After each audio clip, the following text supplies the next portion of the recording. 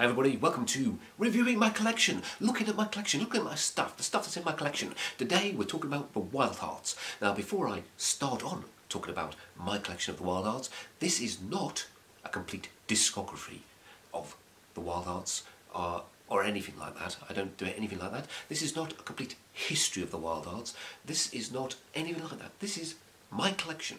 My collection, pretty much in every single one I'll do um, like this, I haven't got a complete collection. I'm not a completist in any way. Stuff comes along and I go, eh, and I stop listening to bands. Uh, then I might get back into them at a later date and go, ooh, that's better. But, but I never bother with the albums I don't like uh, so much most of the time, unless something comes along for a quid, in which case I might go, ooh, check it out. And then I go like, oh, it's more awesome, I missed out on this. Or I go like, oh, I still hate it. That's the way I do things. That's the way I live. Most people live like this. I know there are other people out there that if they buy an album by a group and they like it, they have to buy all the rest. Even if they don't, they have to pretend that they like them. I don't pretend.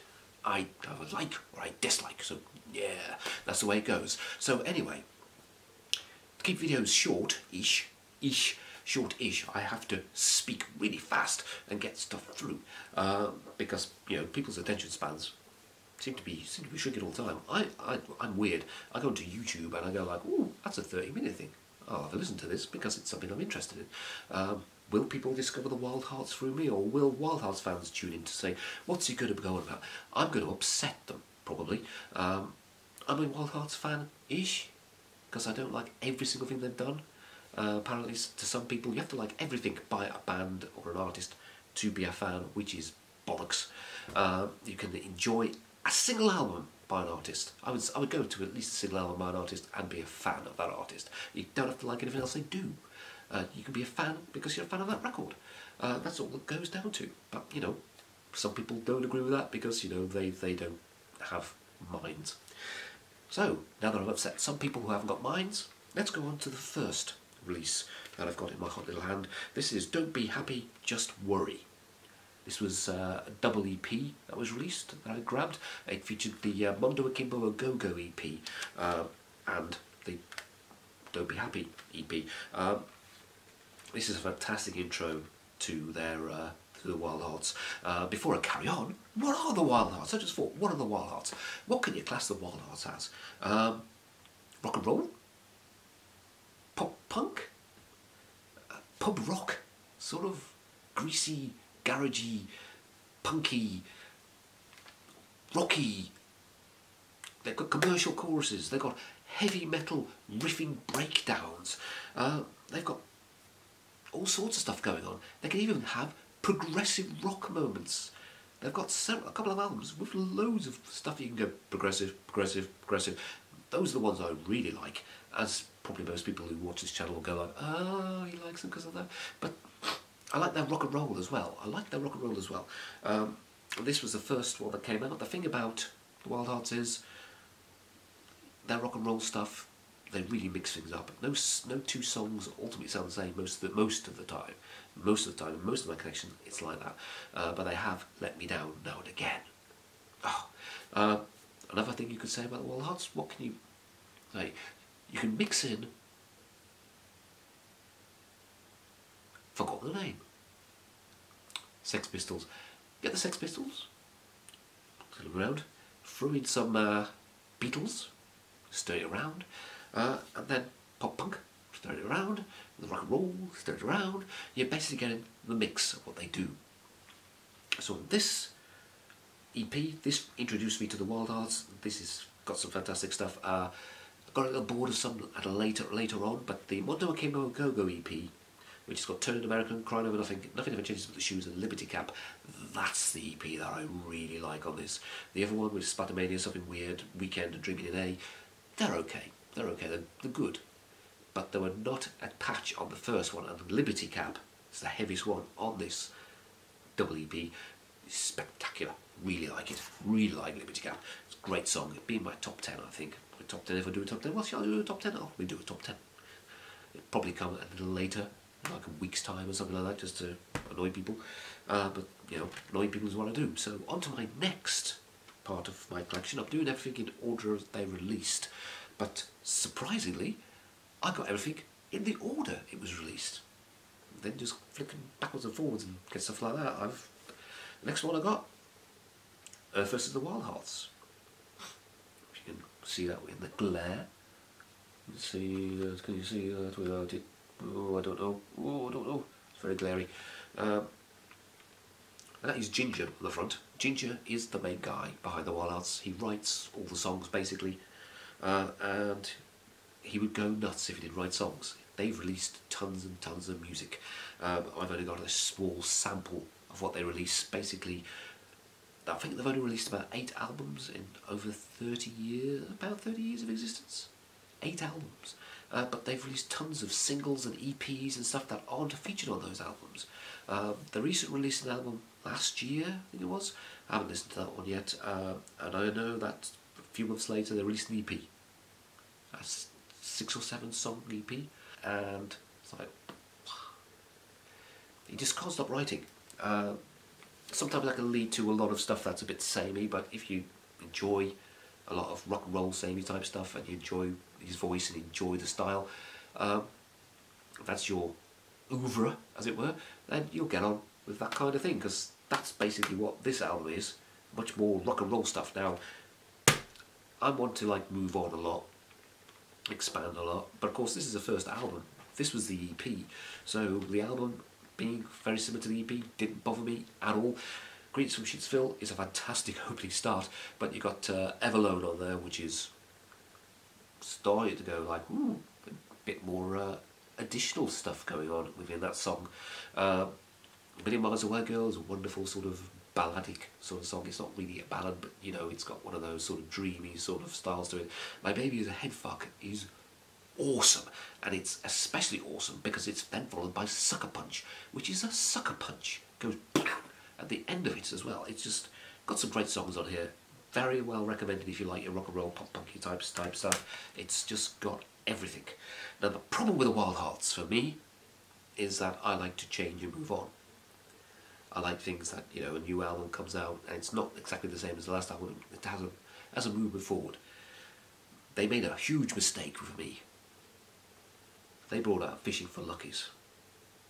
Huge mistake because this is fucking awesome. This is basically their progressive rock album. Uh, more than any of their other, the other stuff they've done, if they've got progressive song here and there, this is their progressive rock album. This is just stunningly good. It kicked off with Inglorious. If like Life is Life a Love Bank, I Want an Overdraft is a, a nice simple ditty type stuff. Uh, but then you've got Schizophrenic, you've got Do the Channel Bop, you've got Geordie Wonderland, which is simple commercial song, unlike any other that I've heard them do. And Sky Babies is just, I mean, it's like 11 minutes of spectacularness. The whole damn album is just chock full of fantastic rock and roll progressive. Progressive, progressive and roll, progressive and roll. That's well. This this just ruined them for me. Ruined them, ruined them because it's just stunning. I would recommend this to anybody who likes a bit of progressive stuff that wants to hear something played differently. They've heard rock and roll music. Hey, let's hear it in a different sort of format. This is the one to get. This is the one to get. This just it's just brilliant. Which is why the next release yes it does say fuck you on it, uh, was such a letdown. I, I heard later on that basically, that's uh, yeah, you've got a nice velvet sleeve there, uh, I heard later on that basically this was supposed to be with Fish for Luckies a double album, so it would have been a mix of progressive stuff and straightforward stuff, and it would have probably worked for me. And I'll tell you why that is in a bit. But this was basically Earth versus the Wild Hearts again. It was lots and lots of rock and roll. Um, I Want to Go Where the People Go kicked it off. That is a great poppy rock song. It's just fabulous. Fabulous. And it just kicks everything off. You go, yeah, here we go. And then it just sort of doesn't really kick off. Um, none of the songs really got into my head very much. Although I Want to Go Where People Go is in my top 10 Wild Heart songs really. It's a fantastic fun song.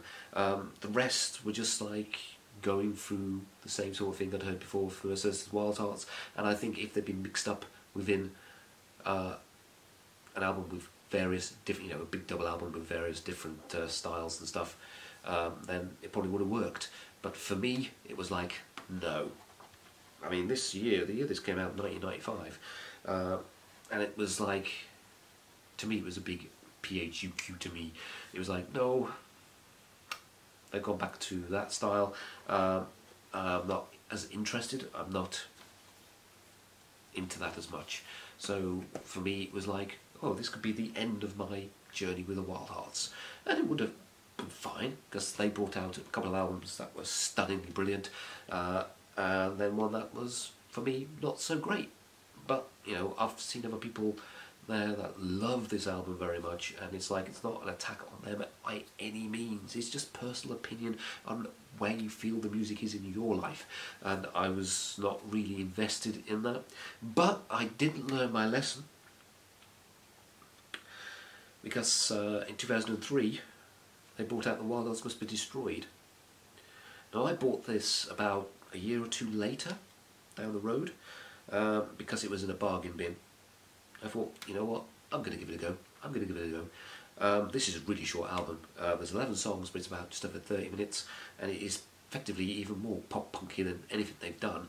And I didn't like anything on it. And I shouldn't. I don't know if to put it. Did nothing sank into this tiny brain of mine. Nothing from this album affected me at all. I can put this album on and every song to me sounds like every song. Uh, it's... I mean, because before I did this, I actually listened to it again. Put myself through it again. Um, and it still doesn't do anything for me. Nothing. It's really weird. Uh, because I know they follow sync paths to PHUQ, uh, versus the Wild and stuff, and they he's pumping out loads and loads of. He's got a, lots of skill at pumping out good toe tappers, good, you know, stuff like that. But I can't even put it into words. Just, it's dead to me. And so were the Wild Hearts. Or were they? You see, last year I heard a song by them, rooting for the bad guy, which I have actually done, linked linked with this. Uh, you'll see it at the end of this video to click on to go like, let's see what they sound like.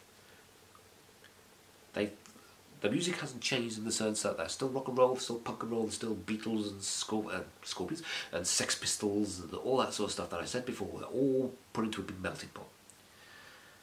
But unlike Hearts Need to Be Destroyed, Rooting for the Bad Guy is on the album Wild Hearts. The Wild Hearts. Um, yeah, self-titled. 2007 this one came out, four years later. I'd, I'd basically cut the Wild Heart out from now. They, they, they'd finish me off with this, with this, this one. I wasn't interested in that sound anymore. I, I thought they're not gonna, they're gonna, they've found the path they want to follow. It's not my path. Fine, we go our separate ways. Loved most of what I got from them. Fine. But then of course root for the bad guy. That's a great song. So I had to get this album. I could only find this album second hand. I think it might be available again now, um, but I could only find it second hand. This is the album really, the style anyway, the uh, mix that I think Fisher for Luckies and the PHUQ album were going to be. You know, a mix of progressive, experimental and straight ahead rock and roll. Because that's what's in here. Room for the Bad Guy, The New Flesh, Slaughtered Authors, Destroy All Monsters, uh, you know, I think uh, New Flesh is a bit more rock and rolly, but Slaughtered Authors, Root of the Bad Guy, Destroy All is a nice, nice, progressively styled sort of songs, full of great heavy metal breakdowns, uh, riffing I should say, along with the wonderful sweet, you know, pop punk choruses and melodies and things in there, as well as going all over the place. This album is fantastically good. It's fantastically good. Uh, but it's not something that brings me brings me back to the Wild Hearts. I'd have to hear something else by them from one of their albums before I bothered to get another album by them. Um, but ultimately, this made me go, ah, this of course was 13 years ago. Uh, but they released an album last year, which I haven't actually listened to at all. Uh, so I might get around to listening to that one day. As you can probably tell, my nose is like, because I've got a bit of hay fever and it's blocking me up just when I decide to do something like this. So uh, I will stop in a minute. Uh, I hope you enjoyed my little overview, uh, little review of my collection because it's literally a simple review of my collection, what I liked, what I didn't like. Um, and I hope uh, there were a few songs titles in there that you go, I'll check out that song title. And if you don't want to, just listen to along with Rooting for the Bad Guy with me on my next video, which is coming up that corner. Will it be that corner or will it be that corner? It's somewhere. Somewhere there'll be a box, or all down here, all down here, uh, a box going like, hey, click on this, go to this song. I hope you enjoyed this video. I uh, hope it didn't go on too long. I've tried to keep it short. If you want me to lengthen something like this out and talk in more depth about reasons why I like and why I dislike various things about a band, uh, about their music and stuff as I'm doing my review, let me know and I will do it. If you want it short, like, hello, this is what I've got, this is the last, last album, the last album, then I'll do it after that as well. Ooh, just dropped it. Um, enough for me.